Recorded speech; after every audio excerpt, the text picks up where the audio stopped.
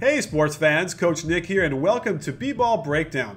Before we get into all the Fred Hoiberg stuff, I want to tell you that I'm coaching a team in the basketball tournament in July. It's a 5 on 5 single elimination winner take all for a million dollar tournament, and you'll be able to follow us as I'll be filming everything from the practices to the huddles to the halftimes to the games.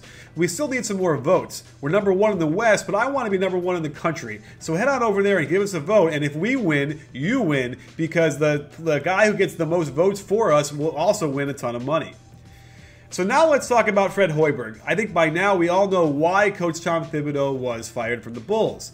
Basically, he overplayed his players, and his offense was a bit unimaginative. So I asked Arturo Galletti, our friend with the numbers, to find out just how badly he did overplay his team this year because it was such a big deal between him and the front office. And we did see some really compelling numbers.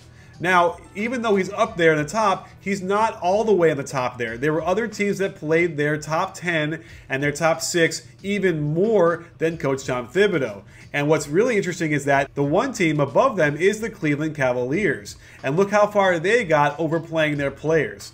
So I'm not saying it was a good thing. For sure, we saw a lot of injuries to Butler and to Rose and to Noah and to Pau, most likely because they were playing too many minutes.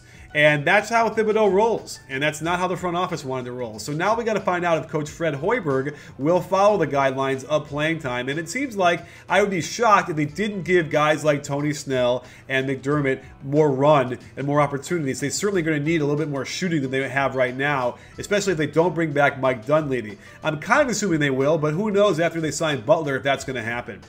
That said, I went through a lot of Fred Hoiberg stuff that he runs at Iowa State, and it's pretty exciting because the dribble pitch is a real big part of his offense. And I love that because it's really a moving pick and roll, basically, very hard to stop. And when you execute it correctly, like we've seen the Spurs do, it is almost impossible to guard.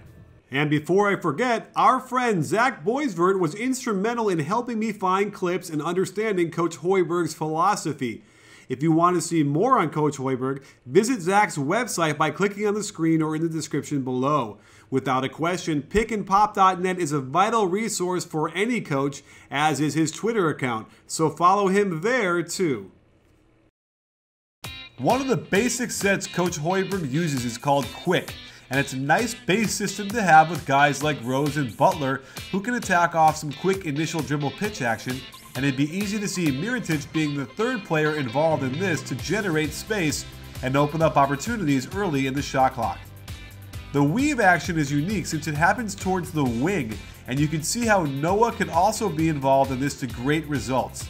And I really like how you can break back into an elbow screen for a good shooter like Dunleavy or perhaps Butler. Through is very similar to the Spurs motion weak, triggered when the point guard enters the ball to the wing, then shallow cuts to the weak side wing. They then run flex action for either the post up or a shot out top. Here's an example of through where they clear the left side so the point guard can either isolate or cut back door. Think Derrick Rose doing damage in this action. Here's another option off a through that could really help Derrick Rose attack after getting the ball moving first, and then break into the pick and roll action that he's good at.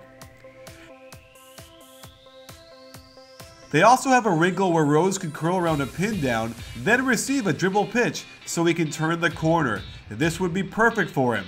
And this option off through is interesting because the guard bringing it up, instead of shallow cutting to the wing, goes to the weak side low post. Think Jimmy Butler if he develops his post game. This is something he could abuse weaker guards with. And Hoiberg gets me excited with this doozy. Watch the weak side corner screen in the baseline then sprint through the elevator doors for an open shot in a unique spot on the floor, the garden spot. When they run through with the UCLA cut, the screener pops out for a ball screen, similar to the Spurs zipper fist action, and this would easily open up three point shots as the roll man sinks to the rim. And they add another wrinkle by adding a two guard front to through, which completely opens up the basket area for a good low post for someone like Pau. The spacing is optimal to allow the post, and if help comes, an easy find for an open three. Here's a set tailor-made for Joakim Noah's excellent passing. They do a nice split in front of the high post, and there are a myriad of options off of this. Joakim could easily fake the handoff and dribble pitch or find shooters as well. We didn't see a ton of low post actions from Hoiberg's sets, but here's a good one where they pin down and enter into the post.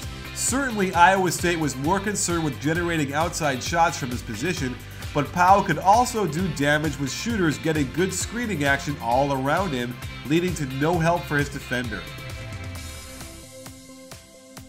I really like Spin Rip since it reminds me of the Warriors' weave they run for Klay Thompson. However, instead of it ending in a ball screen, the Cyclones hit the pinch post. Problem is, this back screen action is gorgeous, but is executed too early. The pinch post should be throwing this for lobs to the rim, so I suspect Hoiberg will adjust this accordingly. That said, you can see how this would open up space for Pau Gasol if he were back screening out of this as well.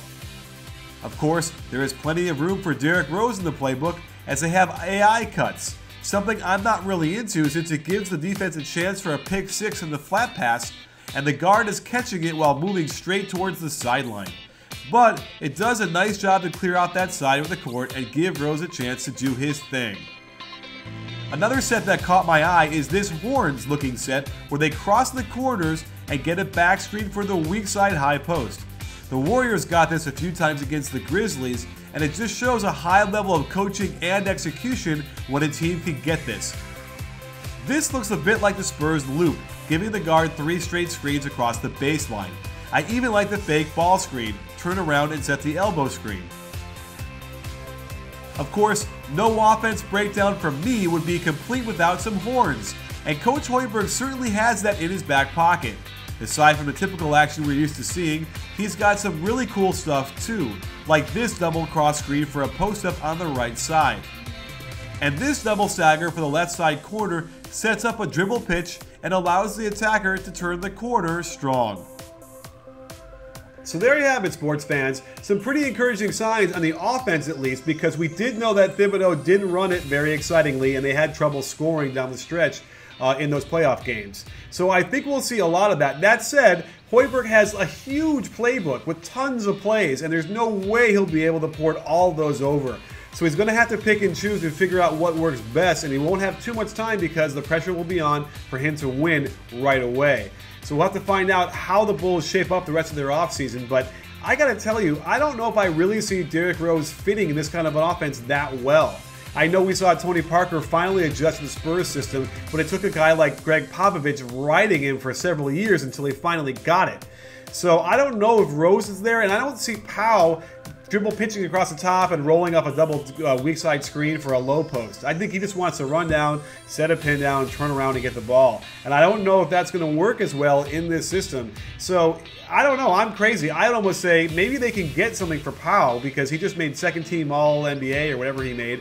And you know what? Maybe maybe they maybe they trade Derrick Rose. I mean, I don't think that Gar Forman and, and John Paxson are, are, are any less popular for doing that after doing what they did to Coach Thibodeau. So I don't know. I feel like maybe with even Derrick Rose, perhaps this is as much of a value they're ever going to have for him.